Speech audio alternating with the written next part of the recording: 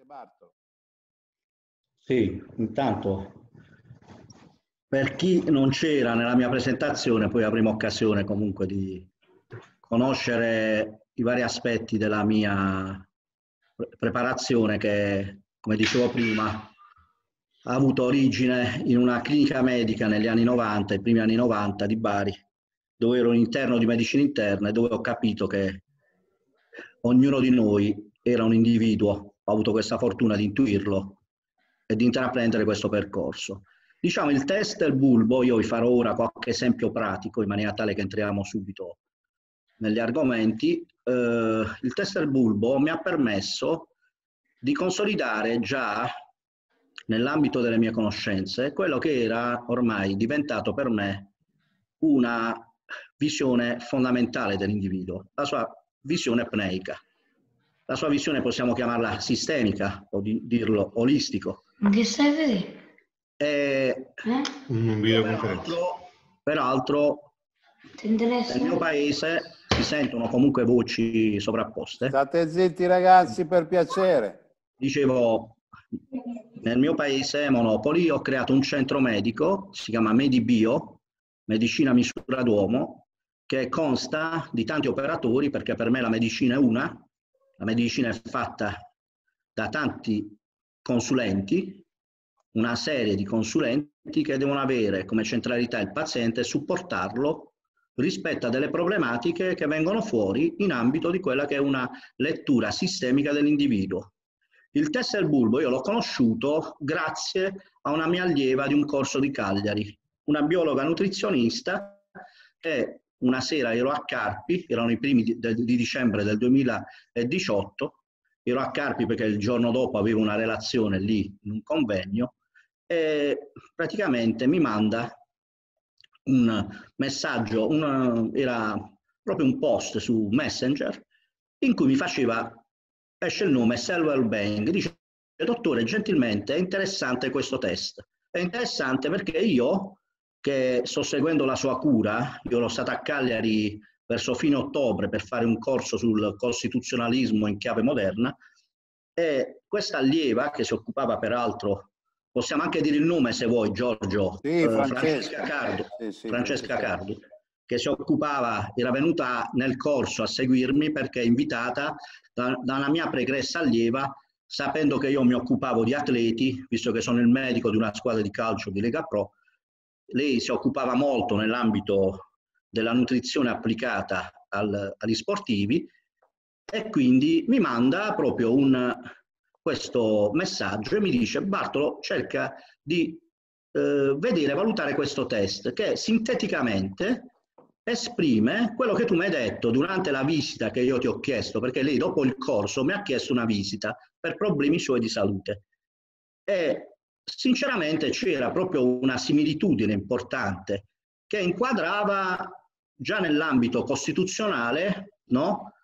eh, una Costituzione che noi chiamiamo in omeopatia fosfofluorica, come quella di Francesca Cardo, che praticamente soffriva di una sintomatologia particolare che allo stesso tempo poi dal test del bulbo aveva verificato la presenza di diverse problematiche che invece io attraverso la mia visita di quasi due ore avevo ritrovato. Quindi vedo in questo test una sorta di sintesi rispetto a quello che facevo, un aiuto per semplificare, per arrivare, per entrare prima nel paziente e incontro boh, neanche una settimana per la fortuna che ho di avere uno studio a Milano, eh, incontro Giorgio, che chiaramente la sua generosità si mette a disposizione e facciamo il primo test. Il primo test lo eseguo io. Mi aveva centrato in pieno, cioè aveva centrato in pieno le problematiche che io in quel momento stavo vivendo. Non ve le sto a dire, però voglio dire, era un test che mi dava delle indicazioni, ma che, su, sulle quali io già sapevo di avere delle problematiche e quindi da lì è nato questo tipo di relazione. È chiaro che essendo un medico che applica il costituzionalismo da vent'anni, eh, la chiave di lettura che vi offrirò è una chiave di lettura chiaramente costituzionale, perché nell'ambito del costituzionalismo moderno eh, la parte importante è che noi possiamo valutare le diverse fasi di un, atteggiamento, di un atteggiamento pneico di un individuo, cioè l'aspetto psicologico che può venire fuori, vedremo anche da certe caratteristiche, l'aspetto neurovegetativo che è fondamentale e che ci permette di distinguere anche attraverso il test del bulbo se, se siamo in una fase simpatico-tonica o se siamo in una fase parasimpatico-tonica. E questo è importante perché cambia il tipo di regolazione ghiandolare endocrina. Perché se siamo in una fase più parasimpatico-tonica avremo una sofferenza quando c'è un eccesso, avremo una sofferenza di certe ghiandole endocrine. Al contrario, quando abbiamo una fase simpatico-tonica abbiamo l'attivazione di altre e il test ci dà anche dei suggerimenti così come l'aspetto diciamo neurovegetativo e ormonoregolatorio si può benissimo accompagnare anche a una valutazione dello stato globale di ossigenazione, ma soprattutto anche di acidosi o alcalosi. Cioè potrebbe entrare in una valutazione più profonda anche a valutare gli aspetti collegati all'utilizzo di ossigeno e allo stato acido-alcalino di, que di quel soggetto.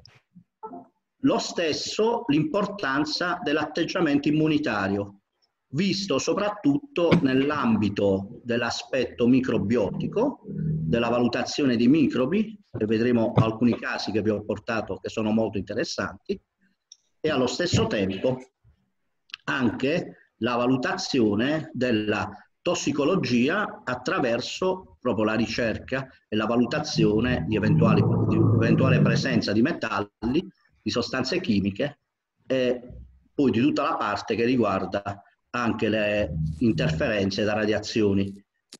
Allo stesso tempo importante è il quadro infiammatorio e il quadro ossidativo che si integra bene anche alla lettura costituzionale e quindi diciamo in una valutazione globale la possibilità di andare a valutare tutti questi aspetti. Cosa? Si sente un, una, un rimbombo. Ragazzi state zitti no, per sembra... piacere. Quindi vi dicevo la possibilità poi attraverso il profilo degli acidi grassi, attraverso anche la valutazione dei minerali e delle vitamine che ci porta a valutare anche uno stato antiossidante eh, o proossidante. Quindi diciamo una serie di valutazioni che nella mia chiave di lettura costituzionale hanno permesso attraverso l'interpretazione del bulbo di avere delle informazioni di più per poter dare un aiuto a, a diciamo, quelli che venivano sottoposti al test, al, dai quali noi solitamente intraprendiamo, facciamo intraprendere un percorso di questo tipo, facciamo a tutti una valutazione BIA, perché per me la composizione corporea, con tutti i dati che mi vengono fuori, fra chiaramente stato di idratazione, l'aspetto anche della massa metabolicamente attiva e soprattutto la parte dell'angolo di fase, sono dei dati che io utilizzo in integrazione ai dati del test del bulbo. Chiaramente poi anche attraverso una valutazione clinica dei sintomi del paziente, della, dell'aspetto clinico, anche visto come storia anamnestica più sistemica, no? con un'interpretazione più integrata al profilo dell'evoluzione della vita e quelli che possono essere stati dei blocchi, e poi in una chiave di lettura integrata anche con la, con la potenzialità, io sono un medico che pratica elettroagopuntura di FOL, con la potenzialità dopo il test del bulbo di poter fare anche dei test di fall per poter inquadrare qualche elemento chiave come potrebbe essere un microbo, se viene fuori un particolare tipo di virus, un particolare tipo di parassita o di fungo, oppure per esempio andare a valutare qualche organo che è in uno stato di blocco energetico che può venire fuori, ma questo lo potreste fare anche con altre tecniche che possono essere anche di tipo kinesiologico se volete. Quindi io amplio chiaramente la conoscenza del bulbo, del test del bulbo, anche con delle tecniche che mi permettono poi di avere una ottimalizzazione nell'ambito poi di quel principio di integrazione terapeutica che va chiaramente a valutare i diversi aspetti del triangolo, di quello che è il triangolo della salute dell'individuo. Perché io lavoro nel mio centro con una serie di eh, professionisti, di consulenti, per cui cerco di lavorare quasi sempre con la nutrizione clinica e poi certamente con l'integrazione, ma fondamentalmente lavoro molto in collaborazione con naturopati, in collaborazione con mental coach, con persone che lavorano anche sull'aspetto mentale in maniera diretta in maniera riflessa e per cui vi posso già far vedere il primo caso in quest'ambito. Questo ce l'avete tutto, Donnarumma, eh, tu, tutti, eh, Donnarumma Daniele, il, questo che abbiamo già proiettato? Sì. Questo, ok, ce l'avete tutti, giusto? Allarghiamolo, ecco, ok. Ok? Io vado subito al... Questo è un atleta? Questo è un atleta, questo è il più forte calciatore che ha il Monopoli è un laterale. Diciamo, per chi non si occupa di calcio, come profilo è un longilineo, un fosforico in omeopatia, con note fluoriche, un napoletano di origine, lui è di vicino Salerno, di Cava, e infatti Donnarumma, come un cognome di quella zona. E lui è un ragazzo che con richieste in serie superiori quest'anno, questo è il primo che abbiamo fatto, a mi sa che l'abbiamo fatto, no questo è il secondo, sì, quello che abbiamo fatto il 2 gennaio del 2020. È un ragazzo che praticamente per due mesi non recupera da un infortunio muscolare, quindi si infortuna ai primi di ottobre, ha una recidiva a fine ottobre, uno strappo di 4,5 del quadricipite femorale, però diciamo, essendo, parliamo di giovani di 24 anni, eh, io avevo compreso che era un ragazzo che aveva problematiche in ambito emotivo e gli ho chiesto di sottoporsi a questo test che lui aveva saltato a settembre, quando ho fatto il, prima, il primo gruppo di test. Eh, e come valutazione, come vedete, è venuta negli aspetti chiave, nella, eh, al primo posto, emozioni. Nell'ambito della gestione di quest'atleta, quindi vedete poi sistema ormonale, sintesi proteica e sistema muscoloscheletrico. Parliamo di un atleta che veniva fuori ma che non riusciva a superare un infortunio importante. Nell'analisi sistemica, qui vi farò vedere alcuni dati, nell'analisi sistemica di questo individuo viene fuori che c'è una problematica di ordine emotivo importante. C'è una separazione che si sta attuando con la moglie in presenza di, un di una bimba di 4 anni.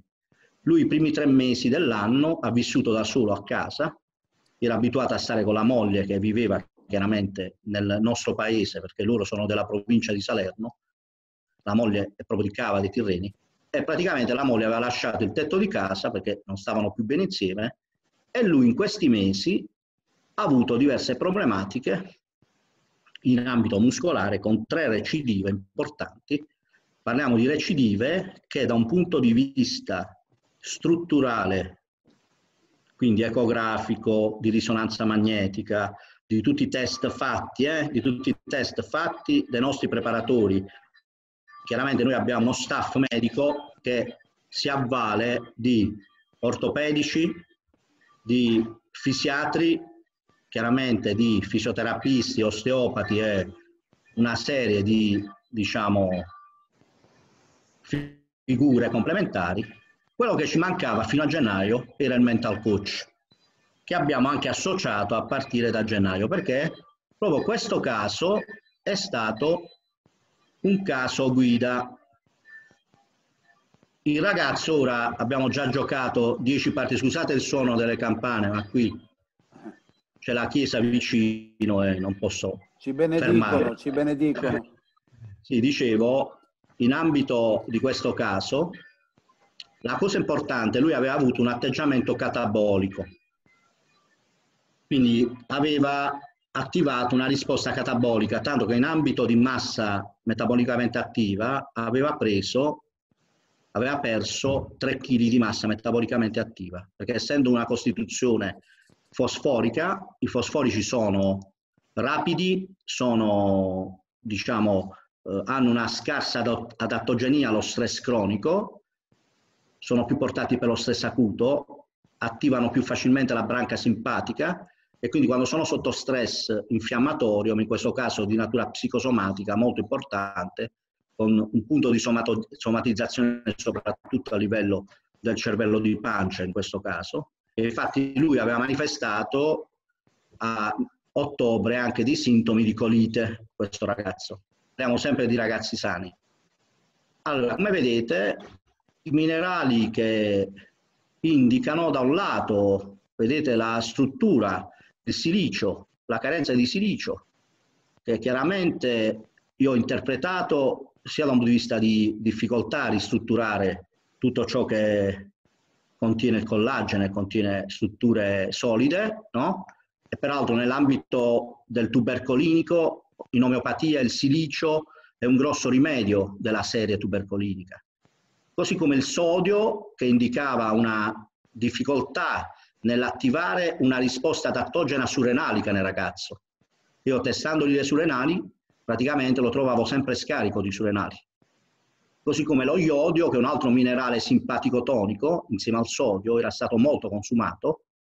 Eh, immaginate non solo da, nell'ambito di quella che è un'espressione di diciamo, stress di tipo simpatico tonico e quindi di consumo maggiore rispetto al recupero, perché c'era un consumo soprattutto mentale, no?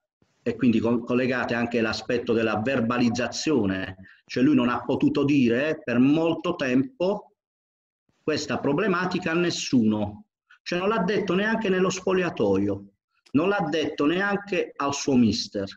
Quando l'ha scoperto il suo mister, è venuto a chiedermi aiuto e io ho attivato subito una consulenza, chiaramente abbiamo attivato una terapia, va bene, integrata, però abbiamo attivato anche delle consulenze psicosomatiche. Il matrimonio è salvo, grazie a Dio, il ragazzo è sano, ora ha praticamente fatto tutte le 10 partite che abbiamo fatto fino alla sospensione dell'8 marzo e non ha saltato un allenamento. Questa è una buona notizia. Vedete quella carenza di zolfo che unita chiaramente a problematiche, vedete, della vitamina C e quindi silicio, vitamina C, faceva, fa, fa comprendere come c'era una difficoltà nel riportare il muscolo, l'apparato muscolare, a quella, a, che, a quella che era la propria integrità. Ora volevo andare più avanti per quanto riguarda altri aspetti, Vediamo per quanto riguarda il supporto intestinale.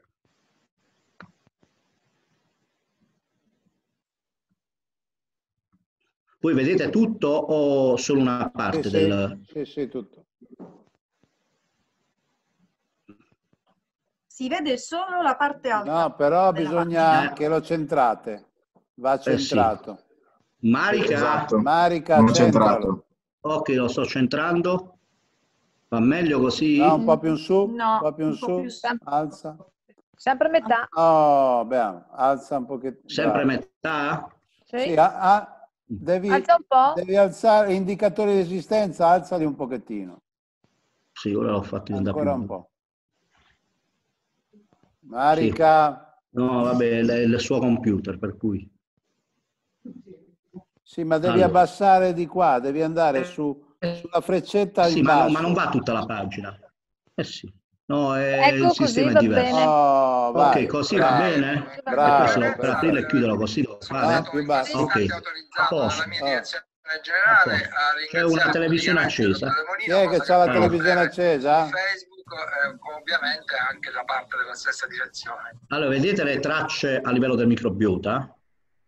Considerate che gli atleti noi li facciamo alimentare bene, con tutto ciò c'era comunque la presenza, vedete, di tracce di batteri e funghi. In ambito di sfide ambientali eh, era pulito, però considerate che su 28 calciatori ho trovato idrocarburi policiclici in 5 calciatori.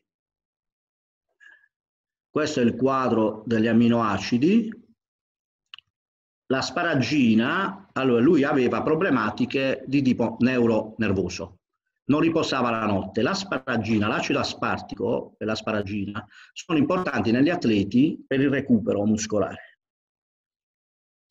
e quindi chiaramente l'acido glutamico ci indicava una, un danneggiamento da sindrome del intestino a colabrodo, lieve però comunque c'era, la prolina è importante, sapete, per altre funzioni, ma soprattutto il discorso della, della sparagina ben combaci, combaciava con la sua difficoltà del recupero notturno, perché lui non riposava.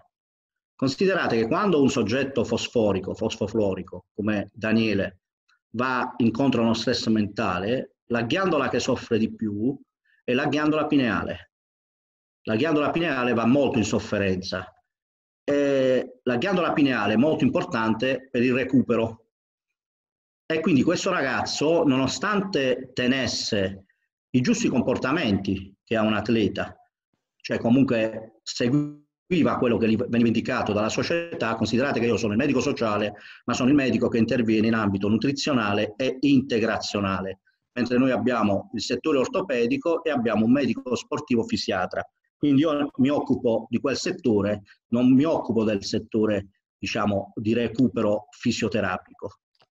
E chiaramente capite bene che l'anello mancante in questa situazione era l'anello psicologico, cioè mancava al ragazzo la possibilità di trovare una chiave di svolta in questo suo conflitto, che è, grazie al fatto, è, per assurdo, lui è stato uno stimolo per poter, poter far sì che la nostra squadra di calcio a gennaio ha consolidato un rapporto con un gruppo mental coach, si chiama Master Coach Italia, ha sedi a Bari, ma ha diverse sedi in Italia, e praticamente nel mio centro abbiamo la scuola per mental coach anche e io oltre che naturopati eh, figure alternative uso molto anche il mental coach nell'ambito di quelle riparazioni di cui ho bisogno quando ho bisogno di farle nell'ambito di quegli aspetti psicosomatici che sono molto importanti e che quindi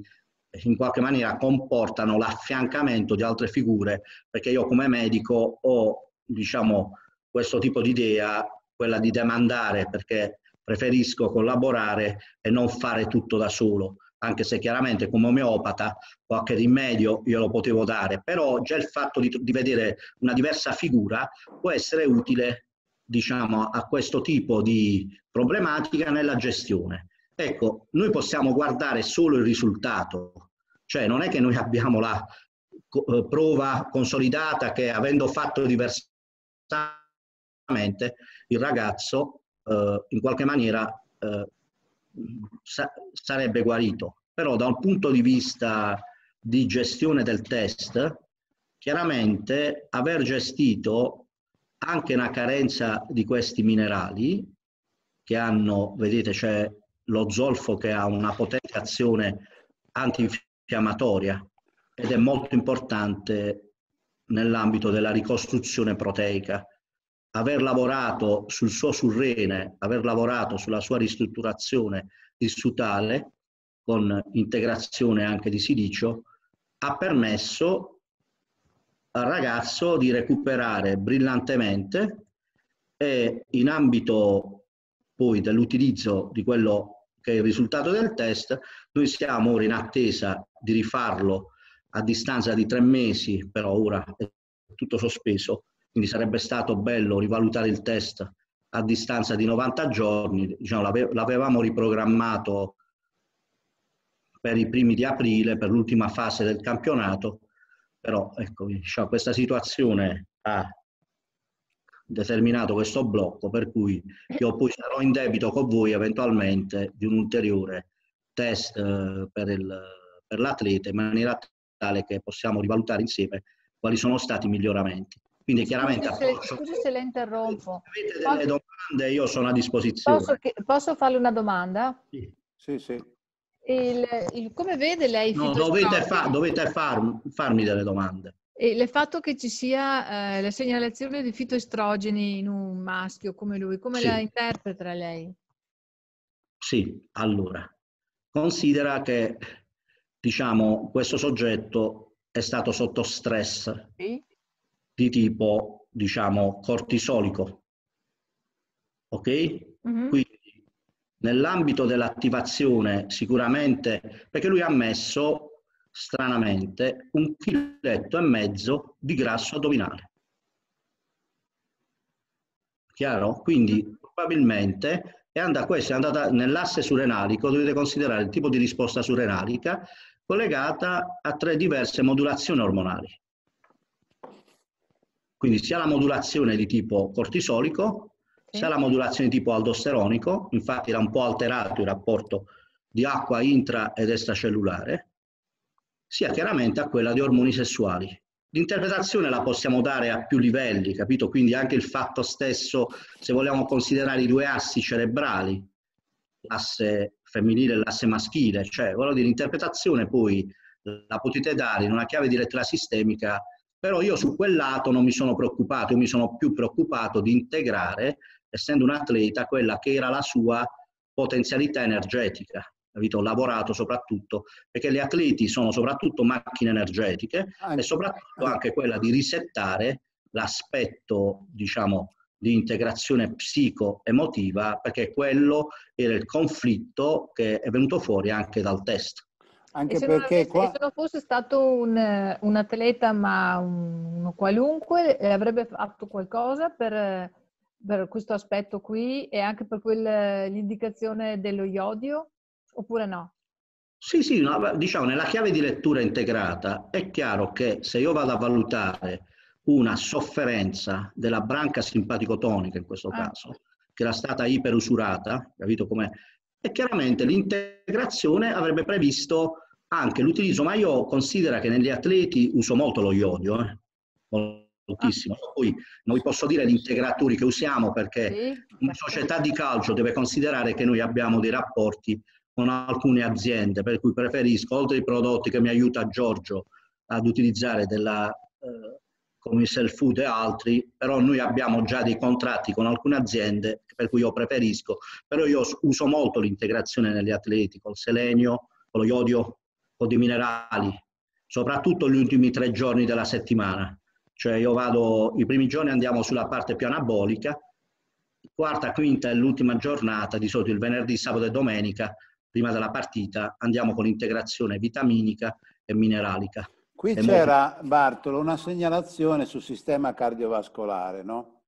Che, Dove? Che eh, sul, sui sistemi di supporto. Ah, Magari... come rosso, dici sì, qua. Vai un sì. pochettino in basso. Eh, sì, sì, sì, no, no, no, l'ho visto, l'ho visto, sistema cardiovascolare. No, no, magari più in giù sul sistema cardiovascolare circolatorio, più in sì. giù se dopo il sistema gastrointestinale... Aspetta, Ok. Ecco, qui, qui, vedi che ci sono eh, delle carenze importanti. Sì, sì, ma considera me... nella nostra alimentazione, noi già usiamo delle diete, capito, okay. in cui utilizziamo... Eh, però fondamentalmente, diciamo, questa parte qua, Giorgio, cioè io l'ho interpretata come una carenza funzionale legata al fatto che il, lo stress era uno stress sistemico. Stava consumando parecchio di queste cose. Esatto, era un soggetto e per quello non recuperava, ma non recuperava nonostante le evidenze degli esami erano perfette. Cioè il muscolo era recuperato, cioè a livello sia di risonanza. Quindi ho portato questo caso, ne potevo fare altri di atleti perché racchiude in sé alcuni aspetti che mi sembravano interessanti. Se avete bisogno di chiedermi e di pormi domande, io Altre sono domande? Sì, io volevo chiedere, ma penso che sia scontato se comunque avete eliminato gli alimenti con gli additivi che sicuramente saranno venuti fuori. Sì, sì. Allora, considera che far mangiare bene una squadra di calcio non è facilissimo, però Daniele è un atleta di livello, di livello diciamo che l'ultima partita che ha fatto a fine settembre era già stato in previsione un suo acquisto da, par- da parte del Bari e quindi diciamo un atleta molto valido certo. che segue già un'alimentazione corretta. Noi cerchiamo chiaramente di fare alimentazioni atossiche con cibi più bio per quello che possiamo. Scusatemi, ma oggi è che fa casino? C'è qualcuno che muove il microfono? da, da parte mia il, è, la, è, il parroco che forse in questo periodo lo fa ogni quarto d'ora il suono di campane, invece farlo ogni ora. Dotta, a livello alimentare dobbiamo aggiungere una cosa. Sì. Uh, rispetto, eh, puoi parlare tu, Marica, tu sei la, la responsabile delle diete. Quindi... Rispetto alla disbiosi intestinale che è venuta, quindi se non sbaglio sì. erano funghi, vero? Funghi, sì, uh, sì, sì. Sono state tolti alcuni alimenti, mm, perché poi tra, tra l'altro Daniele è molto molto diligente in questo, quindi i funghi, tutti i funghi, i lieviti, eh, la farina 00, mh, mm, abbiamo prediletto sempre grani antichi, uh, e le solanacee principalmente, quindi quello che si fa insomma nelle, nelle disbiosi da, da funghi. Da sì, qualcosa gli riusciamo a eliminare, eh, considerate che sono atleti e per fortuna lui vive, lui vive, e si cucina, Daniele è un ragazzo che vive da solo, quindi si cucina, non, loro la maggior parte riescono a cucinarsi da soli. Pochi vanno a mangiare nei ristoranti e comunque anche i ristoranti hanno il nostro menù, cioè di solito seguono un'alternanza di, di, grani antichi e comunque anche in ambito di cibi noi cerchiamo di privilegiare più il cibo più pulito, ecco, diciamo, per quello. Ma d'altronde voglio dire, quest'anno eh, nel caso del Monopoli Calcio parlano i risultati. Vi ho portato un caso di un ragazzo in gamba che comunque ha avuto un problema e che comunque era collegato a un grosso stress emotivo perché separarsi da una moglie giovane, 26 anni, anche bellissima donna, eh, con una bambina di 4 anni, immaginate, non è che sia molto facile.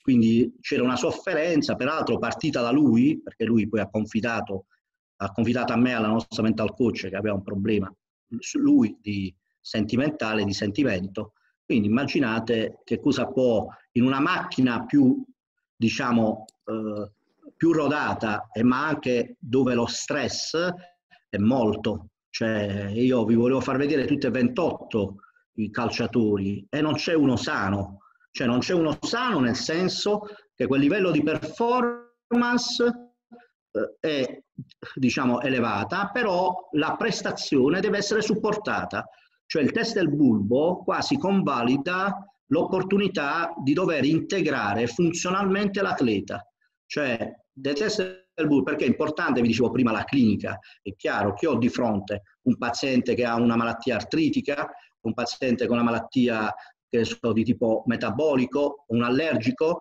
o un paziente neoplastico, se un paziente sano e viene fuori comunque un quadro di alterazione mineralico, vitaminico, antiossidante, è chiaro che l'inquadramento certamente aiuta, l'inquadramento neurovegetativo, l'inquadramento ormonoregolatorio, gli assi di prevalenza, le attività del nostro sistema nervoso centrale anche in ambito di regolazione eh, diciamo catabolica anabolica.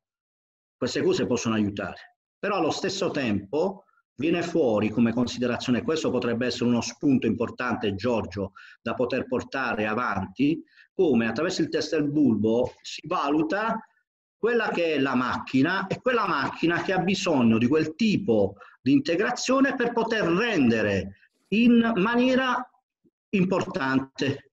È quello che abbiamo fatto quest'anno a Monopoli, tanto che io ho conservato, ti ho detto Giorgio, un articolo del nostro giornale regionale, la Gazzetta del Mezzogiorno, in cui nel, nel derby col Bari, derby storico, di fronte a 8.000 spettatori qui a Monopoli, parliamo di un paese di 40.000 abitanti, la Gazzetta citava Monopoli a suon di rock, per farvi capire come l'energia può essere migliorata e questo è importante sia per il sano che il, il test del bulbo in questo caso è stato per me ed è l'unica differenza che ho rispetto agli altri anni, perché io sono dieci anni e Tecla lo sa eh, che mi occupo di integrazione.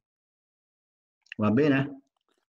Ma come mai ah. non avete fatto il test del bulbo, quello per um, gli sportivi?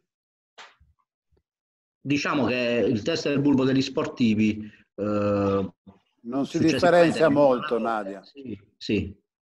Ci siamo comunque accordati con Giorgio per quanto riguarda i test e a settembre Giorgio mi ha girato 60 test. È chiaro che, voglio dire, penso che il test degli sportivi è venuto fuori dopo, Giorgio, giusto? Sì, sì, sì. Quindi, chiaramente io avevo dei, dei test di Giorgio da parte per questo progetto e quindi probabilmente i successivi che faremo, da quello che mi hai anche confermato Giorgio, saranno quelli che è nuovo, la nuova tipologia.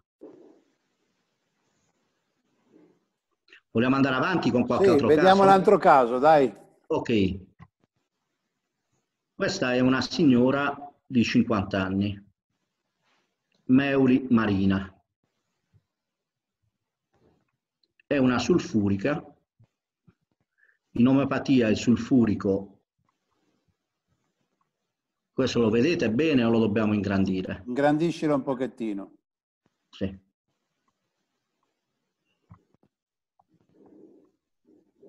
No, basta andare su più, su più. Ok. Vale. Va bene così? Grande. Okay. Allora, questa signora mi arriva, è una mia vecchia conoscente, parliamo di una conoscenza di 20 anni, che mi arriva praticamente con un problema metabolico, perché ormai erano alle soglie della menopausa, erano alcuni mesi che non riusciva a dimagrire, lei è un'artista, è una attrice, attrice di teatro, e praticamente eh, non riusciva a dimagrire con grosse problematiche di gestione, si era rivolta già a dei nutrizionisti e però diciamo nell'ambito di quello che era il, la problematica metabolica nessun tipo di risultato. Chiaramente noi la sottoponiamo alla BIA, la sottoponiamo anche al test del bulbo. Dal test del bulbo, vedete, vengono fuori questi aspetti che consolidavano da un lato al primo posto una problematica metabolica. Quindi sulfurico ha una caratteristica.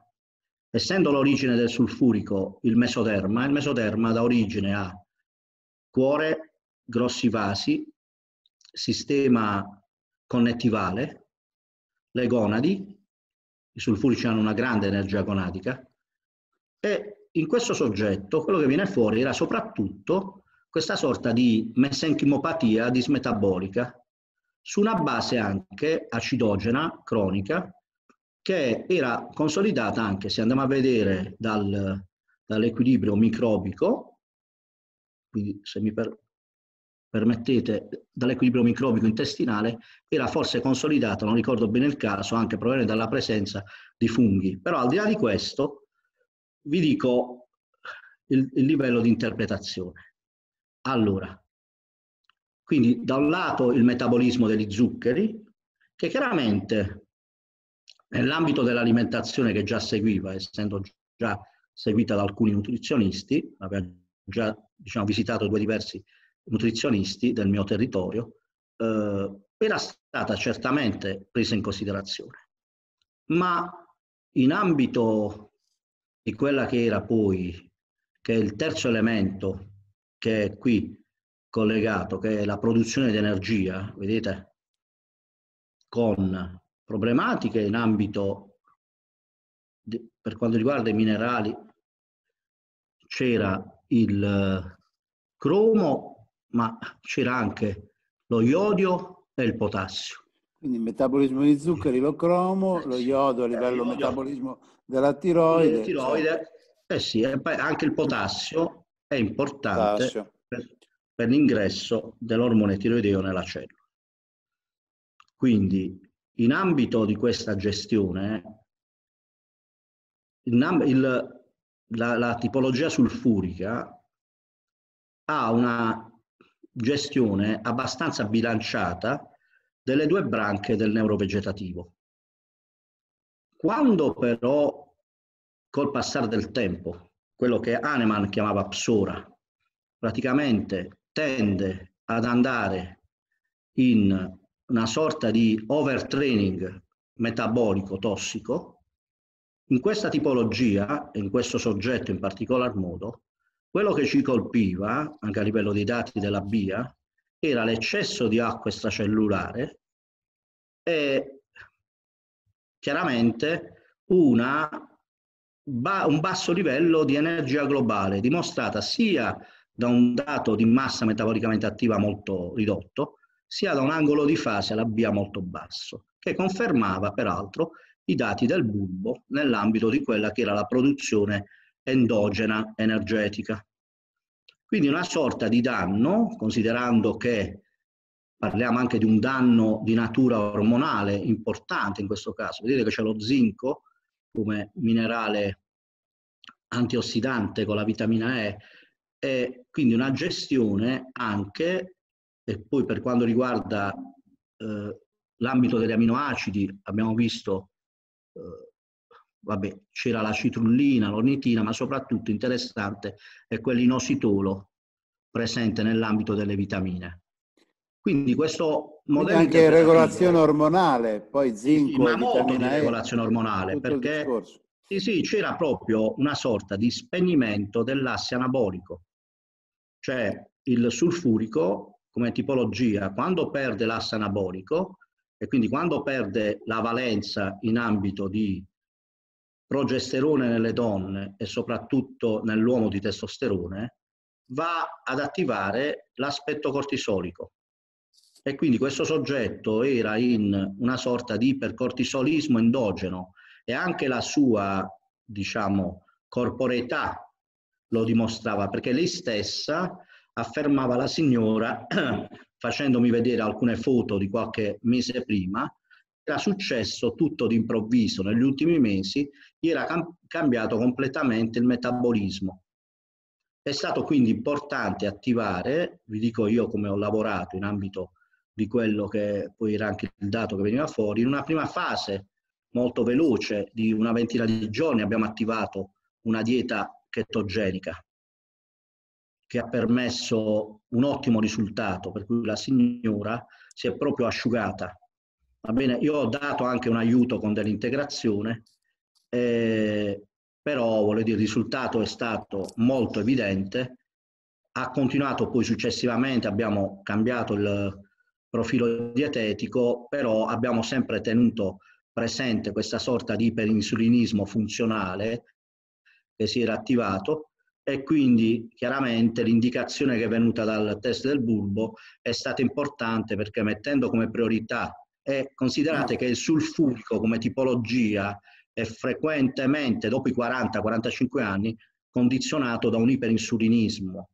Per due motivi, già riprendendo diciamo Hahnemann quando parlava della psora diceva che la psora era condizionata da una difficoltosa attività del metabolismo epatico, ecco perché venivano chiamati sulfurici.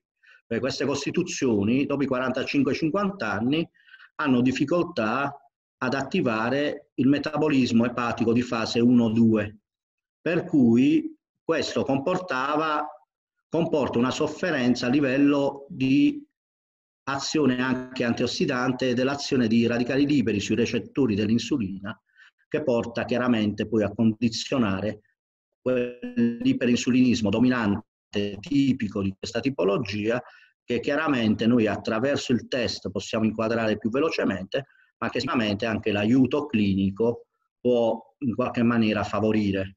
Questa signora attualmente, l'ho vista pochi, pochi giorni fa, ha mantenuto i suoi risultati, si è ripromessa un po' prima dell'estate di rifare un pochettino per perdere altri 4-5 kg, eh, diciamo di nuovo una dieta e quindi chiaramente in quel caso siamo facilitati, probabilmente li farò un altro test del bulbo, però siamo facilitati nella comprensione del metabolismo dominante sotto stress.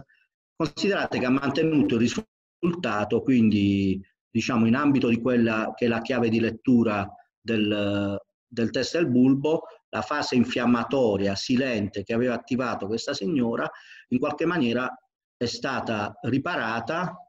Vedete, a livello di acidi grassi non c'era molto, c'era comunque un'accentuazione soprattutto della traccia del, del DHA e dell'acido linoleico.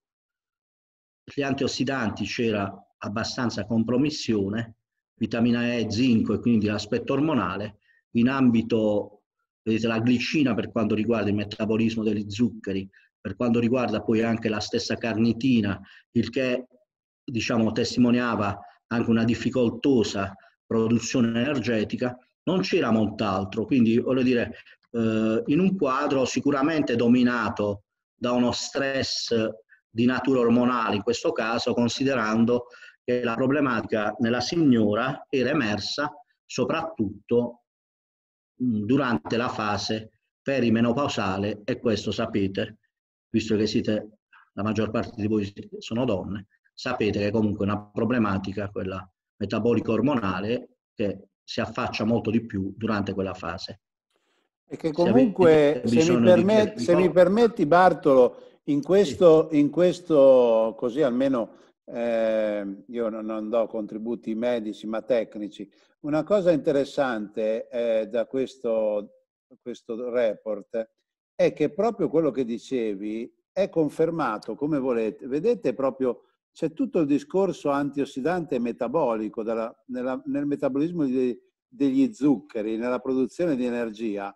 Vedete, risuona tutto sotto, no? la, la superossimodismutasi, ah, sì, certo. le, le, care, le, carenze specifiche. La superossimodismutasi, ah, oltre ad essere uno dei più importanti antiossidanti, sapete anche nella certo. neurodegenerazione, certo. quanto sia importante la produzione di energia. Quindi questi sono tutti campanelli di allarme che ci devono far capire come possiamo supportarlo, perché ricordiamoci, oltre che avere un quadro clinico della persona, questo ci serve come prevenzione e predizione no? di, di, poi di peggioramenti e quindi di guidarlo questa, questo paziente. Assolutamente. Diciamo qua la chiave di lettura metabolica, il lavoro che, che ho fatto è stato soprattutto chiaramente in ambito nutrizionale, però ho lavorato molto sul fegato, ho lavorato molto sull'acidosi, ho lavorato anche molto sull'attivazione energetica, anche mitocondriale. Per cui, e poi chiaramente ho ribilanciato gli assi, perché, nella, perché il sulfurico, avendo una grande energia, nel momento in cui noi andiamo a migliorare l'asse simpatico-tonico, considerate che l'asse simpatico-tonico è attivato a tre grossi ormoni dimagranti, che sono l'ormone tiroideo, l'ormone chiaramente adrenergico, la parte adrenergica della, della midollare del surrene e soprattutto il glucagone. Quindi considerate che eh, anche questo aspetto è fondamentale per cui nell'ambito di quella produzione energetica io ho inteso soprattutto, inquadrando la tipologia della persona, ho inteso soprattutto quello di supportare soprattutto l'asse simpatico-tonico, che è quello di, diciamo, di maggior produzione energetica, che in questo soggetto, proprio perché tendenzialmente l'età menopausale, la fase climaterica, è di forte stress sulla branca simpatico-tonica. Tendenzialmente con la menopausa è come se la donna subisse una riduzione del suo imprinting simpatico-tonico e va un po' in parasimpaticotonia, tanto che va fondamentalmente ad attivare tutti quei meccanismi, fra cui per esempio anche l'attività sulla matrice ossea, no? eh, che sono tipici per esempio di soggetti che vanno in acidosi, al contrario dell'uomo che può andare in ormonoregolazione negativa, anche in versione anche prima della donna. Sembra strano, ma è così, perché se pensate agli atleti, no? gli atleti maschi, gli atleti maschi intorno ai 35-40 anni già iniziano a ridurre il loro setting di performance.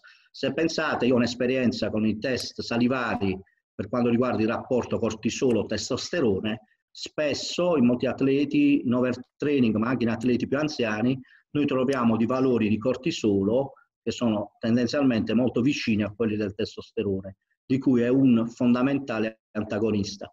Per cui, diciamo, la chiave interpretativa metabolica in questo caso può portare poi ad adottare un sistema terapeutico che deve vedere integrata, secondo me, la parte nutrizionale a una parte integrazionale, perché fondamentalmente il test del bulbo ci sta dicendo che c'è un deficit energetico, quindi noi non lo possiamo surrogare solamente con la dieta, ma lo dobbiamo anche surrogare con l'integrazione cioè con un'integrazione specifica di tipo ossigenoide, perché l'ossigeno attiva la branca simpatico-tonica. La branca simpatico-tonica è molto attivata dall'ossigeno, che è il modulatore principe, per esempio, dell'ormone principale dell'asse simpatico-tonico, che è l'ormone tiroideo. E grazie alla presenza di ossigeno, l'ormone tiroideo riesce ad esprimere in pieno la sua potenza metabolico-energetica. Quindi dovete considerare anche questo aspetto per cui avendo diversi strumenti, anche fra cui anche i prodotti che eh, ci consiglia Giorgio. Fra troppo cui buono, troppo buono. Eh, ma che c'entra, voglio dire, quando cioè, lo sai, dire, io lo utilizzo e comunque il tipo di visione è questo. Quando arriva questa fase, no, in cui la regolazione delle neurovegetati, quando un soggetto vi viene a dire, io fino a sei mesi fa stavo bene e poi mi è cambiato questo. Ho adottato un sistema dietetico e questo può capitare e questo sistema dietetico non mi ha aiutato. Che cosa è successo? Stesso il bulbo ci ha dato una chiave di lettura in questo caso. Va bene? Grazie. Avete eh, bisogno di altro? Avevi un altro caso? Sì, sì, no, ce l'ho gli altri, se vuoi ce l'ho. Io volevo chiederle una, una cosa. Eh, questa, questa, dieta chetogenica è stata una chetogenica totale o moderata? Totale, e comunque come l'ha, come l'ha continuata, cioè l'ha proseguita anche dopo, immagino? Sì, sì, sì. Ora okay. posso passare la linea alla, alla, biologa così ti spiega. Marica, se vuoi intervenire, volevo dire, tanto l'hai seguita sì, sì. tu. Della, Lei della... è la mia collaboratrice, diciamo il mio braccio okay. destro in ambito nutrizionale. Abbiamo questa Senti, mi fanno una domanda. Prima una domanda. Secondo te sì. potrebbe essere anche una questione di un livello subclinico del TSH alto? Eh certo. In questo caso lo stress è ipotalamo ipofisario. Questo è un segno comunque di invecchiamento ipotalamo ipofisario, è centrale, eh? non è periferico solo. Mm-hmm. Qui è da regolare tutto l'asse, l'asse cervello-pancia mm-hmm. cioè l'asse metabolico. Non è, non è, perché qua è un invecchiamento che ha a che fare col fatto che la signora sta arrivando a 50 anni, sta avendo alterazioni ormonali che sono anche testimoniate dal test e quindi devi anche agire sull'aspetto di regolazione dell'asse metabolico HPA che era un asse attivato, cioè fondamentalmente la signora in corso di una mesenchimopatia diffusa stava attivando un asse di derivazione ipotalamo-ipofisi sul rene attraverso un'iperincrezione di cortisolo, era quello quello che stava succedendo. Quindi assolutamente sì, perché un'iperattivazione dell'asse ipotalamo-ipofisario può avere a che fare chiaramente anche perché in inversione andando in inversione energetica, il fatto stesso che abbiamo la carenza di potassio e che quindi non fa entrare lo, eh, a livello cellulare l'ormone tiroideo, automaticamente qui questo può testimoniare un'inversione neurovegetativa che porta in una parasimpaticotonia prevalente ad avere un ormone tiroideo più flaccido, cioè meno efficace e te lo testimonia la, la funzione, la produzione di energia. In questo caso non c'è lo iodio, che non è primario, in questo caso è secondario il problema, è un problema di capacità cellulare metabolica, testimoniata dal fatto che essendoci molta acqua extracellulare, praticamente gli ormoni hanno anche difficoltà a giungere nelle cellule. Quindi qua potreste trovare a livello di laboratorio degli esami normali, ma in verità poi il quadro metabolico tutto vi dice tranne che è normale quel paziente. È quello che sto cercando di dire da sempre, grazie. grazie, grazie. Eh, volevi dire, Marica? Marica, sì. Niente, l'alimentazione che abbiamo dato appunto era una chetogenica, cioè abbiamo, se vedete la del, dell'esame è luglio, quindi una quota di carboidrati l'abbiamo mantenuta a colazione attraverso delle fette biscottate o comunque dei biscotti senza l'aggiunta di, uh, di zucchero, uh, quindi a lento rilascio per non creare proprio un indice, non creare proprio un calo dell'indice glicemico troppo repentino. Uh, ma delle volte abbiamo associato delle, delle proteine di origine animale e vegetale. Subito dopo la chetogenica abbiamo iniziato un percorso di una dieta un po' più metabolica, quindi con l'introduzione l'introduzione di uh, quote di carboidrati distribuite durante la giornata in modo da andare a regolare nuovamente l'indice glicemico durante tutta la giornata. Naturalmente è stato possibile perché, come diceva il dottore, è una, un soggetto che è eh, una sulfurica. Probabilmente in una fosforica non l'avremmo mai potuto fare questo tipo di, di discorso, certo. Ci sarebbe svenuta prima. Eh, penso di aver risposto alla domanda che ha... Sì, sì, grazie. Sì. Perfetto. Posso andare avanti con qualche caso? Sì. Se siete interessati, questo è un caso sì, interessantissimo. Sì, sì, Bello, no ragazzi? Sta andando bene. Questo è un caso Benissimo. interessante. Questa è una paziente che mi arriva tramite una mia allieva che si è perfezionata da me in biologia della nutrizione prima, prima in biologia e poi in biologia della nutrizione, aveva già una laurea in scienze motorie e praticamente lei mi chiama e dice dottor Allegrino ho bisogno del suo aiuto perché io faccio parte di un gruppo nazionale col professor Mainardi che si occupa del rapporto cervello-intestino. Il professor Paolo Mainardi è uno studioso a Genova dell'asse intestino-cervello. è un farmacologo, io ho avuto piacere anche di fare qualche congresso con lui, e praticamente lui ha creato un gruppo in rete con dei biologi per lavorare su quest'asse. Lei mi chiede aiuto perché questa ragazza di 28 anni è diciamo, una ragazza, una bellissima signora, molto brava peraltro, e lei ha una sindrome astenica cronica, cioè ha difficoltà addirittura a camminare.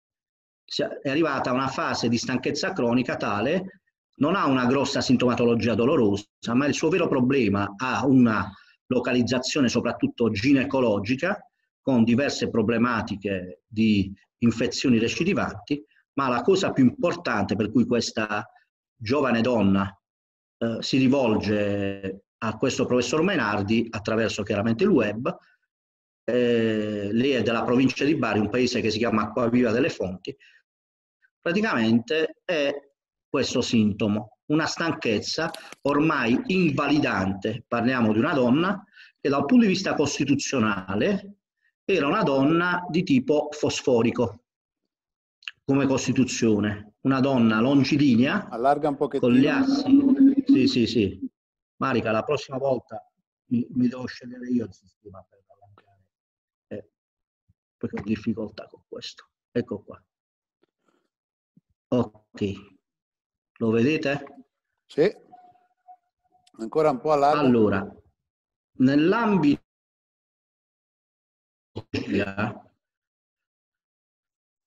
chiaramente allora, questa stanchezza era diventata talmente consolidata no? che questa signora, peraltro impresaria, proprietaria di un'azienda che dà lavoro a 120 persone, praticamente che è ereditato dal padre, questa signora, la prima visita, dice, dottore, io ho difficoltà. Allora, io la vado a raggiungere io a casa. Dopodiché, lei riesce a venire, si convince, perché era già stata visitata da tanti medici. L'ultimo era un medico catanese e che comunque aveva dato una terapia un po' particolare e io gli faccio subito il test del bulbo. Chiaramente la mia valutazione sistemica era già partita, però dal test del bulbo vengono fuori tutte queste informazioni. Sistema ormonale, sistema adrenergico, emozioni e sistema cardiovascolare. È chiaro che non bastava, bisogna vedere nel singolo. Andiamo a vedere nel singolo e già nell'ambito del quadro dei dei minerali, vedete, una carenza di selenio e potassio. Selenio e potassio è come in un fosforico, è come se voi gli toglieste la benzina alla vostra auto. Perché il fosforico utilizza molto il potassio, che è uno di quei minerali cosiddetti eccitativi, e utilizza, infatti molti rimedi della serie fosforica sono potassici. Allo stesso tempo utilizza molto il selenio, che è un rimedio importante soprattutto per l'integrazione dell'asse fegato-cervello. Al di là dell'importanza nella produzione del glutatione, ma è importante soprattutto per l'attivazione dell'ormone tiroideo, ma il selenio entra in gioco anche nella formazione di molti neuroormoni.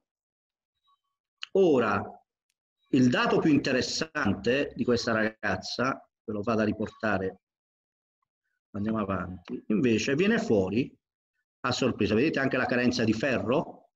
Ferro, potassio, selenio e molibdano. Andiamo a vedere la cosa invece più interessante da cui vi faccio arri arrivare uno spunto. Metalli tossici, una traccia, ma del minimo, viveva praticamente in una condizione di contatto con i metalli, perché l'azienda del padre è un'azienda... Questa aveva il coronavirus, eh, guarda lì. No, no, ma questo è eh. stato il dato più importante. Questo dato ci ha permesso di scoprire una riattivazione del virus di Epstein-Barr. La signora, sono passati otto mesi, oggi parla di miracolo. Se volete un domani ve la porto anche, lei è disposta anche a testimoniare. Elisa, siamo diventati amici, non ha più bisogno di Mainardi, si cura, aver scoperto la riattivazione, vi dico, l'altra sera, l'ultimo test del bulbo che ho fatto prima di chiudere il mio studio, è stata una paziente di Putignano, è stata Marica a fare il test del bulbo in una palestra di Putignano che, ci, che ha come responsabile del settore naturopatico una mia allieva di una scuola di naturopatia che sta collaborando da gennaio con noi per quanto riguarda il test del bulbo. A questa signora abbiamo scoperto una riattivazione di tutti i virus erpetici grazie al test del bulbo, che peraltro per assurdo Marica si chiama anche signora gentile. Quindi sembra quasi quella signora di Putignano, se ricordi bene, si chiama signora gentile. Ora vi invito a valutare bene gli indicatori di resistenza io che sono uno studioso del microbiota, la mia prima relazione è stata nel 2006 in Romania, dove parlavo di un lavoro fatto da un olandese che praticamente sull'Ancet pubblicò una correlazione fra glutine e candida. Questa mia relazione all'Università Titia Maiorescu si chiamava il frumento nemico sconosciuto, dove praticamente si metteva in correlazione la candida col glutine una relazione molto interessante che se volete poi io giro a Giorgio e poi Giorgio vi gira. E il microbiota è stata la mia passione sin dall'inizio, venendo da una scuola di medicina interna.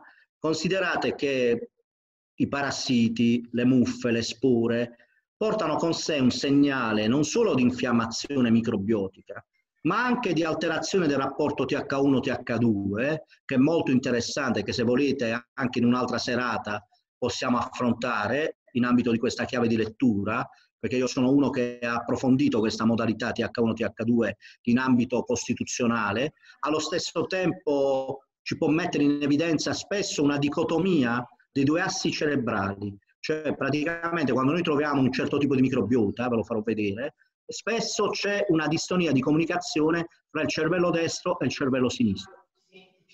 Quindi il paziente è in sofferenza cronica, spesso viene fuori una problematica anche di salute cerebrale dal bulbo.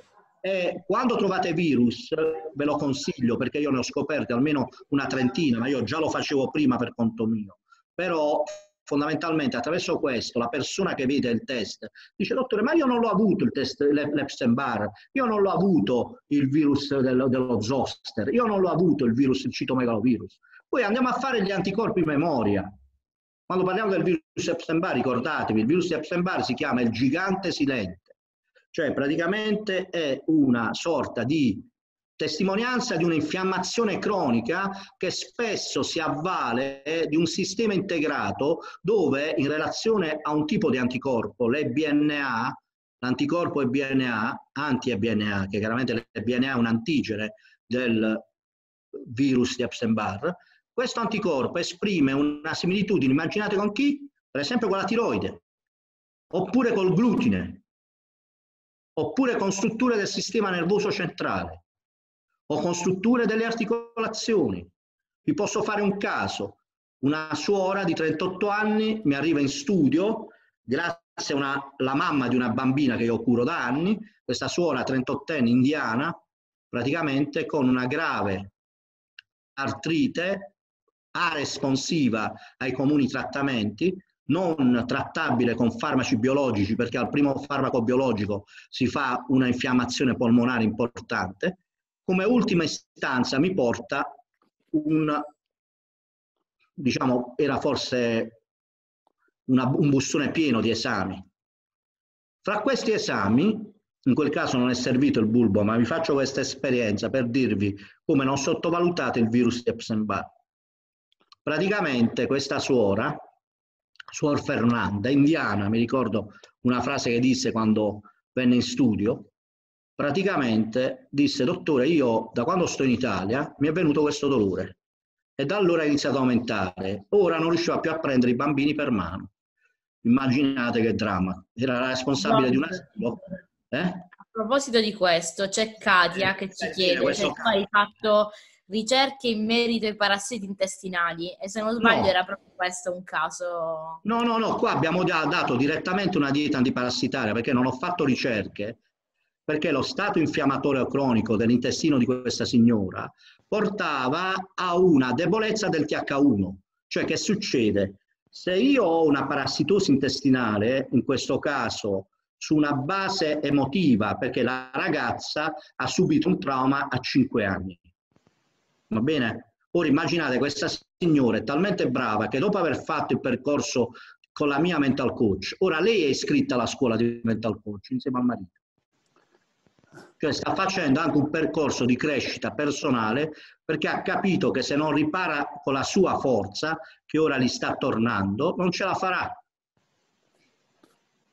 Ora, il, la parassitosi, è chiaro che io sono intervenuto. Come? Con una dieta a basso tenore staminico. Perché quando c'è una parassitosi si attiva il TH2. Il TH2 attiva, attraverso diverse citochine, l'attivazione mastocitica. E quindi c'è un'istaminergia di azione. Dovete agire attraverso un basso tenore di cibi staminici.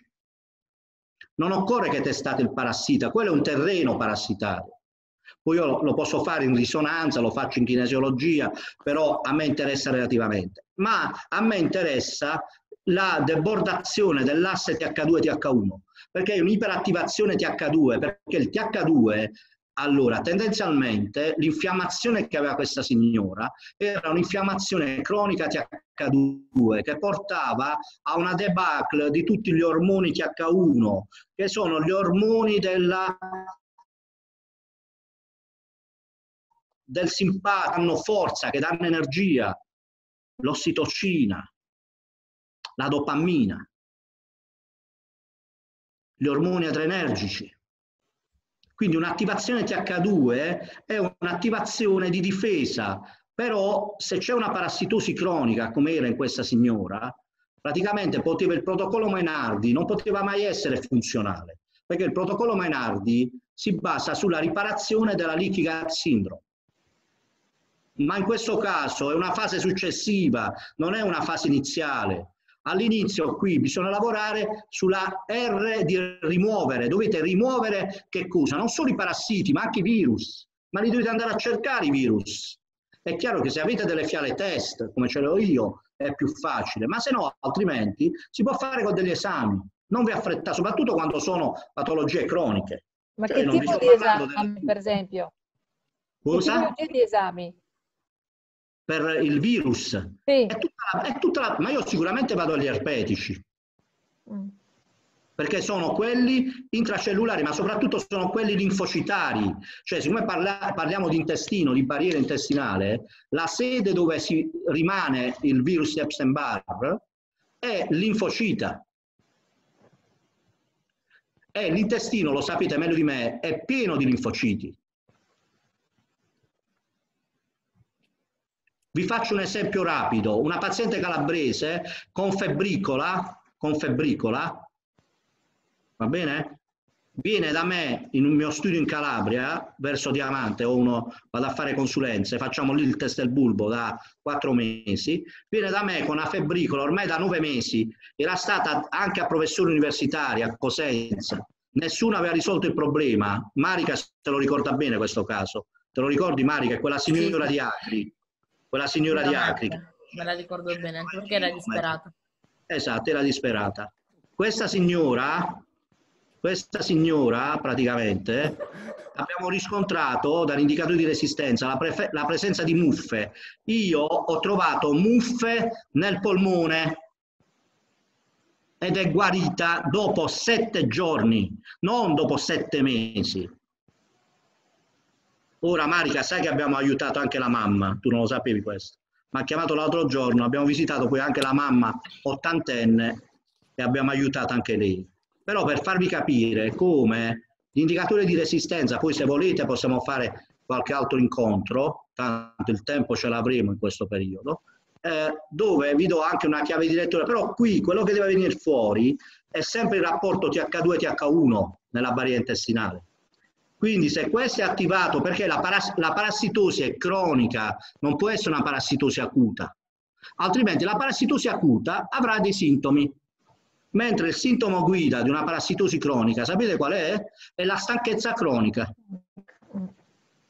Perché diceva Hahnemann, la psora, se non viene curata, la, la, diceva Hahnemann, la psora, che è spesso parassitaria, se non viene curata, tende a diventare astenica.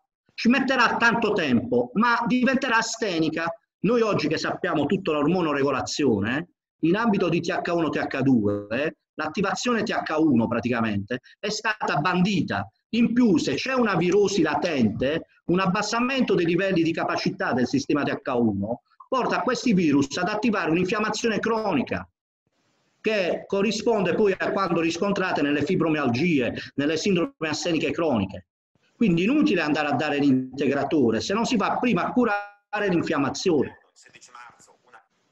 È chiaro? Uh-huh. Quindi in questo caso il risultato è stato che certamente abbiamo agito sulla barriera intestinale, ci volesse, era l'informazione più forte che mi dava questo e me lo diceva anche nelle priorità, ma abbiamo agito anche sull'aspetto emotivo, che era una delle priorità, che non va sottovalutato. È chiaro, dici, vabbè, io non ce l'ho a disposizione, la devo inviare, io non so le vostre professionalità, però nell'ambito dei centri dei centri di salute che dovremmo creare in futuro. Faccio da motivatore, se mi chiamate faccio no, giro d'Italia. No, vabbè, ma, ma, si può creare una rete con i mental coach. Cioè, voglio dire, si può creare benissimo una rete.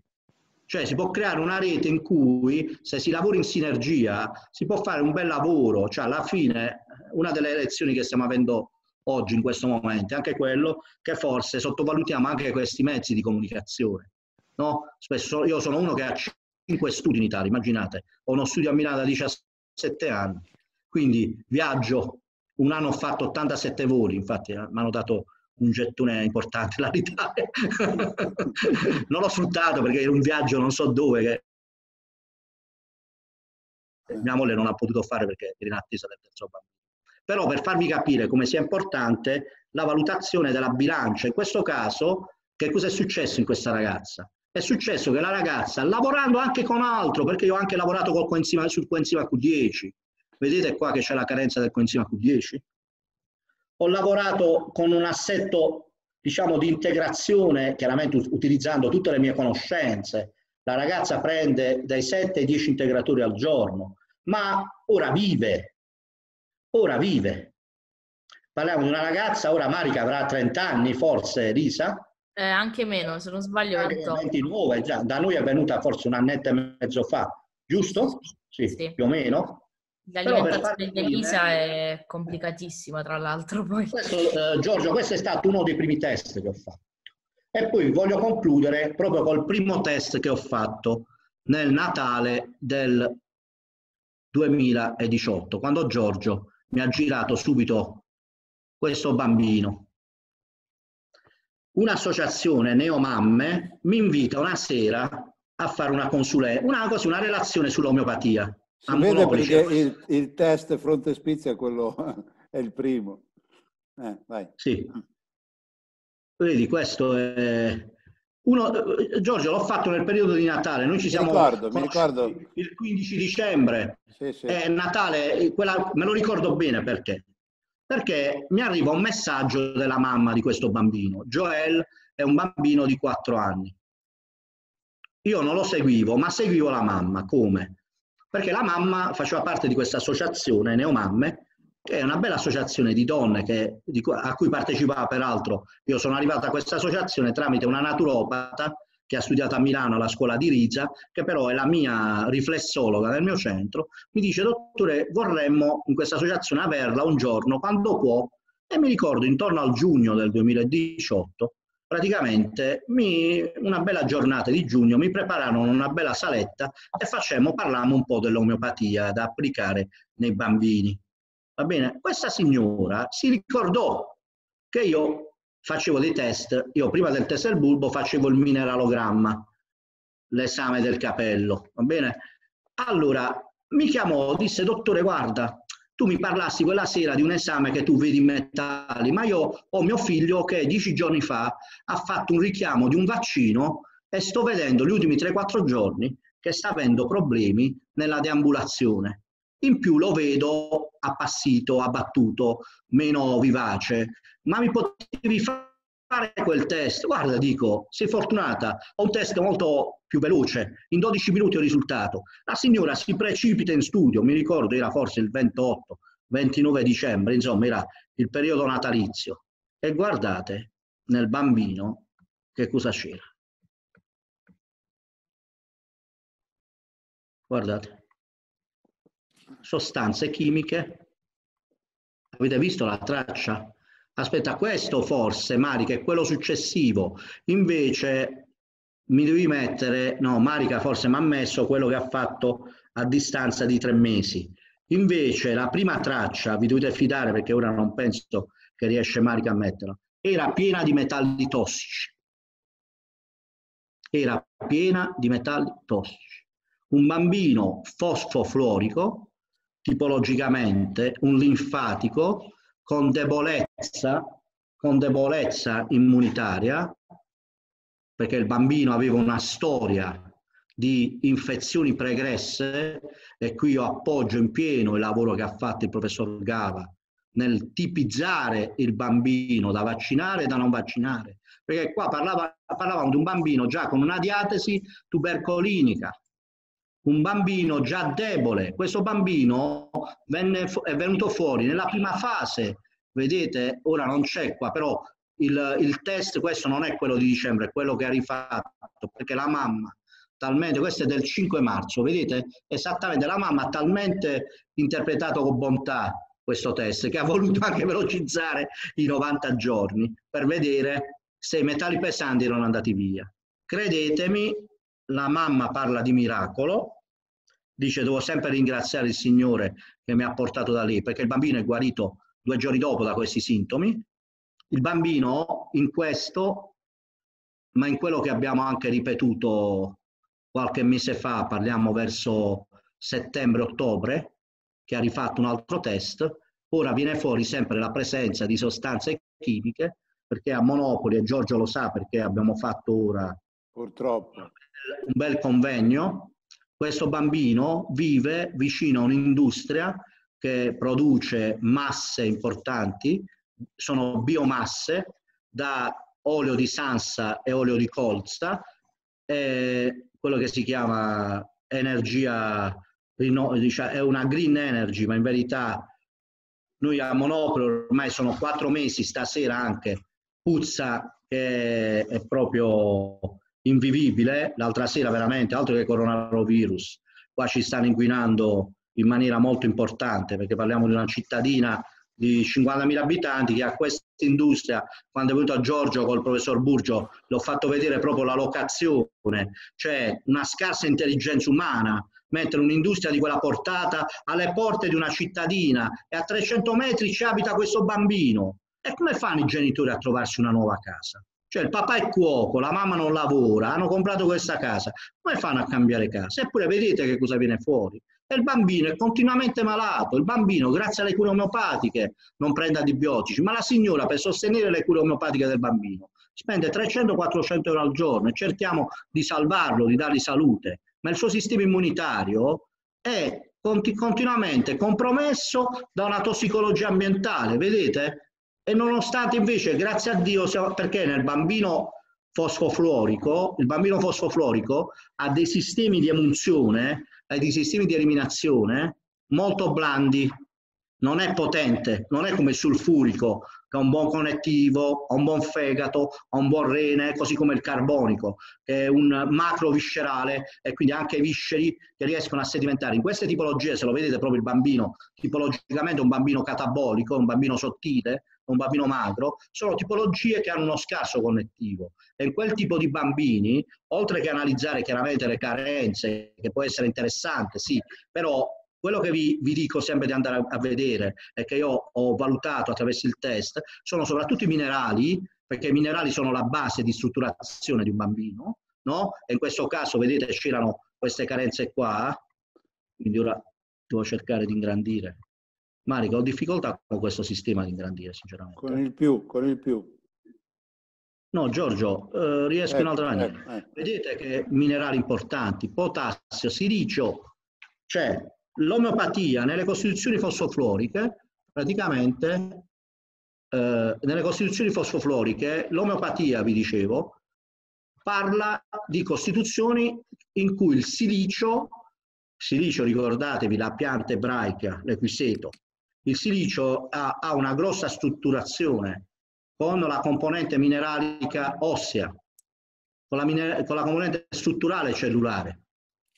Quindi il silicio, la carenza la di silicio in un bambino, in un bambino, immaginate che tipo di problematica dà nella risposta biologica a uno stressore anche ambientale che porterà questo bambino a rispondere in maniera flogogena perché è l'unica maniera che l'attività immunitaria ancora incompleta a quell'età, parliamo di un bambino che ora ci avrà 4 anni, Joel, ma che quando ho fatto questo test ne aveva 3, chiaramente dovete capire un bambino che è stato a sua volta compromesso da tante infezioni recidivanti poi quando fa un vaccino può presentare anche dei sintomi come quelli che ha presentato lui e forse l'intervento di qualche mano dall'alto ha voluto che diciamo, la signora si rivolgesse da me e il bambino è riuscito a eliminare dei sintomi che già potevano preludere a qualcosa di più diciamo, dannoso.